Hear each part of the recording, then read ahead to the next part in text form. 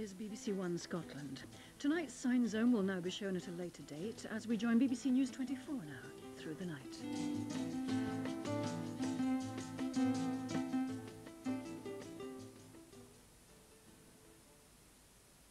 is still trying to uh, contact or make sure that the uh, next of kin of the prisoner of war concerned um, has been fully apprised of what's happened. Is it expected, though, uh, in, uh, at the Pentagon that it will be one of the seven um, American prisoners of war that uh, we knew about previously? Well, I think all the indications we're getting is that actually it's not. It's that it, it's possibly someone who was who was listed previously as missing, rather than one of the one of the uh, prisoners of war that uh, that had been notified. But this will be a great boost, supposedly, to morale. Uh, in, indeed, it's, uh, and I think that's one of the reasons why they, they've made this statement now, but of course uh, it is only one individual amongst uh, a number who are A, a, prisoners of war and B, missing. Nick, um, thank you very much. We'll try to um, get more um, details of that when we can, and we'll come back to you as soon as possible. Nick, thank you very much. Well, uh, as we've heard, the American Secretary of State Colin Powell has arrived in Turkey to try to restore relations stretched almost to breaking point by America's decision to invade Iraq. In a busy schedule, he'll be taking in Ankara, the Balkans and Brussels. David Sells has this report. So far, the story has been war-war, built on a disrupted NATO and a divided Europe, on a transatlantic slanging match where once there was amity. I cannot go to the public and say, oh, well, let's go to war because there are reasons and so on, and I don't believe in that. The center of gravity is shifting in Europe. Uh, I was thinking of NATO when I said, oh, Europe. Britain said yes to Mr. Bush's war. France and Germany gave it the thumbs down. Now, at last, with Colin Powell coming to Europe, there is a chance to think together of the future.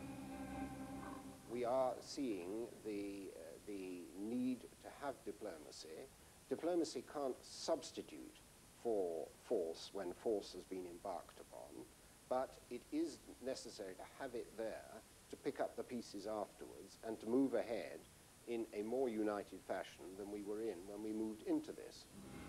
Powell's first port of call will be Turkey. For the Americans, almost the most damaging and unexpected casualty of this war has been their fallout with Ankara. Turkey's parliament, reflecting public opinion, refused to sanction American troops using the country as a base to invade northern Iraq. Will Colin Powell seek to repair relations, or does he carry a whip? Will he be saying Turkish troops must not move into Iraq to face the Kurds there? The Turkish military has always been paranoid about its own Kurdish minority and how freedom for Iraq's Kurds could affect them. Vast convoys of troop-carrying trucks have crossed the Turkish border into northern Iraq. As many as 50,000... This was six years ago. The Turkish army swept across the border to tackle PKK guerrillas who'd fled southeastern Turkey and regrouped there.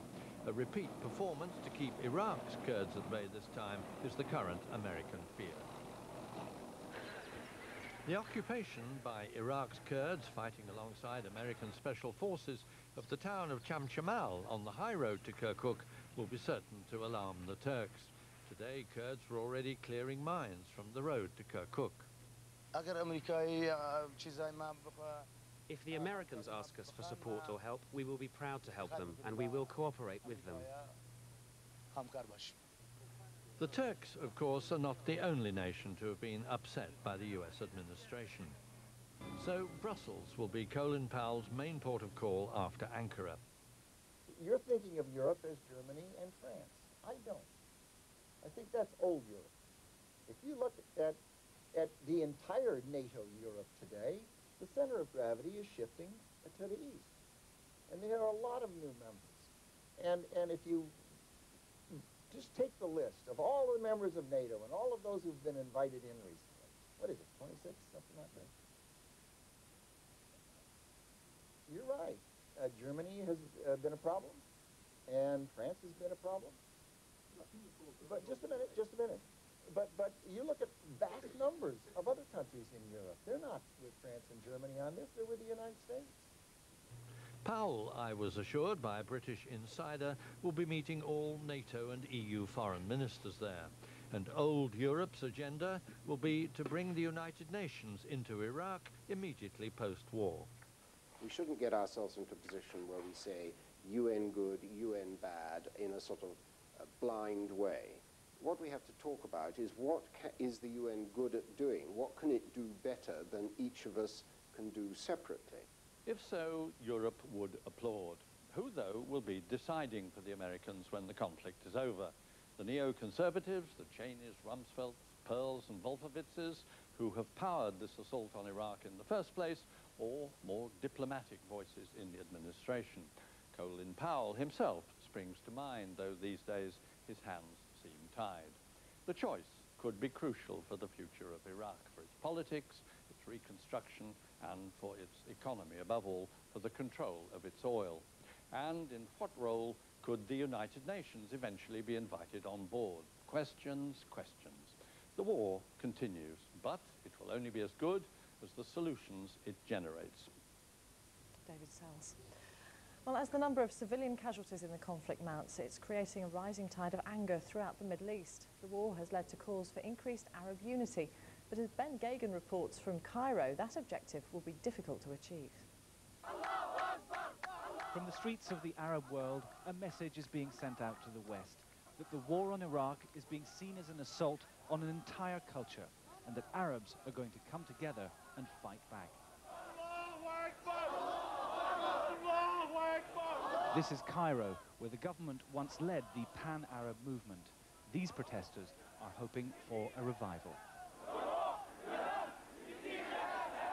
Thank you very, very much, America. Thank you very much, Britain. You are waking all of us up. We have been sleeping for 100 years, and now we are, you are waking all the people up. All those people, not only Islamic uh, regime, but they are ordinary people. Thank you very much. You are waking us up, and you are making them the very big benefit to us. Thank you very much. Please, more war, because more war means more waking up and more wakeness, and we are going to be to show you the cry for unity has often marked the turning points in this region, when the Arab world fought against the domination of the Ottomans, then the Europeans, and in its confrontations with Israel. So far, the dream has never become reality, but the way this war is being perceived may change all that. It is a war against all Arabs. Uh, the United States failed completely, and the UK, to give the Arab belief that they are going against one wrong man and one wrong regime who even made crimes against the Arabs. Actually, because of the linkage September 11th events, because of the pronouncements coming from parts of the American administration, because of the very close association of, of the U.S. and Israel, this war looks like uh, uh, it's against all Arabs. Viewers in this region saw the last Gulf War through the filter of American television or their own government censors. But the handful of satellite channels which have sprung up since then are providing a single Arabic perspective. The pictures are often explicit, the commentary is never sympathetic to the West. All of this has a big effect on public opinion. This television, new television stations uh, are now giving um, some kind of support of uh, the Arab nationalism and uh, how Islam is good for them. Uh, they think there is, uh, there are dangers that are coming after this war, and these channels, they are giving, um, giving support of these ideas. The sourness towards the US means they're having to take special measures at some of the more obvious targets life on the American university campus is also far from normal, and not just because of the extra security.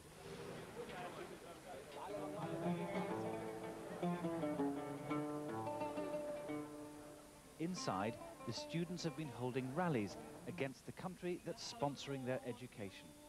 Egypt is the biggest recipient of American aid after Israel, but here they think the time has come for the Arab world to fend for itself. We are Arabs and we have things that the United States want from us. Of course, we need aid and so on.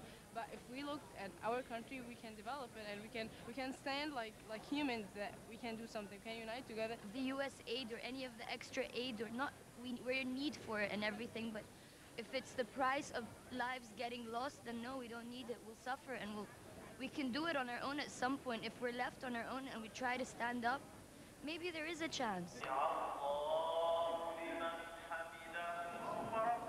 As a sign of how this war is shaping Arabic opinion, the sentiments in a westernized university are beginning to sound the same as those in the mosques.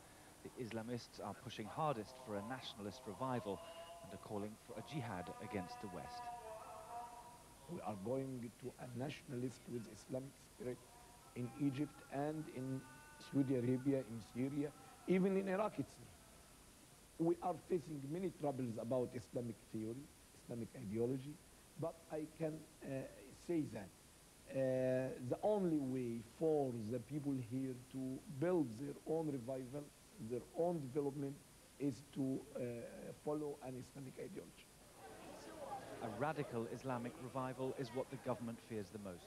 Yesterday, the Egyptian President Hosni Mubarak warned that the war is going to lead to terrorism throughout the world and that if there's one bin Laden now, there'll be a hundred afterwards. Why anyone should worry about the revival of Arab nationalism, this is one. That's a positive phenomenon. Do you think it's going to happen? But uh, uh, I think uh, the main concern now is uh, that this war, as any other war, could unleash more violence, more terrorism, and all of us are vulnerable.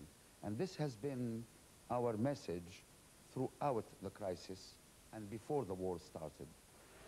The war is being fought in order to change the landscape of a single country, but the Americans and British may find they've unleashed forces throughout the region which they're unable to control.